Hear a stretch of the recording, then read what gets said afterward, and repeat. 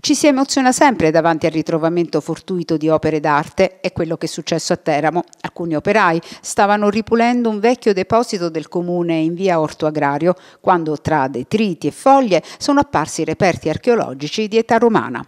Tra questi addirittura una statua funeraria senza testa e a grandezza naturale appartenente a Sesto e Stimelio, il reperto importantissimo dal punto di vista storico fu rinvenuto durante alcuni scavi effettuati dalla sovrintendenza di Chieti negli anni 60 a Teramo. Da allora si erano perse le tracce della statua. Si pensò potesse essere stata rubata, era invece stata buttata via, forse per un errore.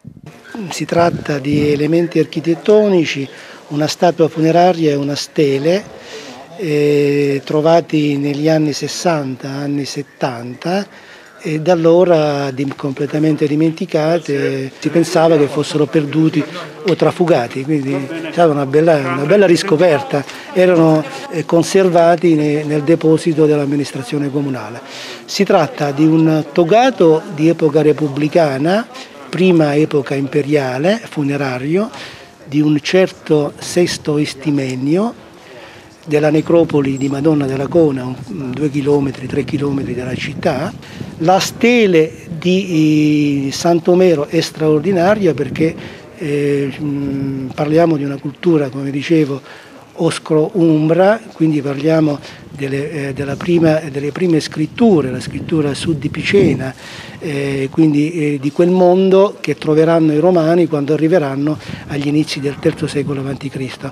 Eh, sono pochissimi reperti esposti, ce ne sono alcuni esemplari provenienti da Montegiove, eh, qui Penna Sant'Andrea che sono esposti a Chieti, ce n'è uno di Bellante esposto a Napoli, adesso ce ne abbiamo uno esposto qui a Teramo.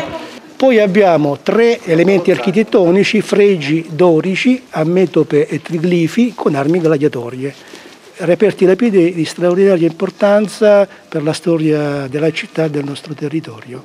Abbiamo rinvenuto, riportato alla luce e quindi riportato, ridonato alla collettività tre opere, una, una statua di età eh, romana, epoca eh, repubblicana, così come una stele, così come degli elementi architettonici. Purtroppo nel tempo erano stati abbandonati, lasciati al, alle intemperie e purtroppo per molti anni si era temuto il, il peggio, che queste opere fossero state trafugate o peggio andate disperse, perdute. Oggi finalmente le riacquisiamo nel patrimonio del comune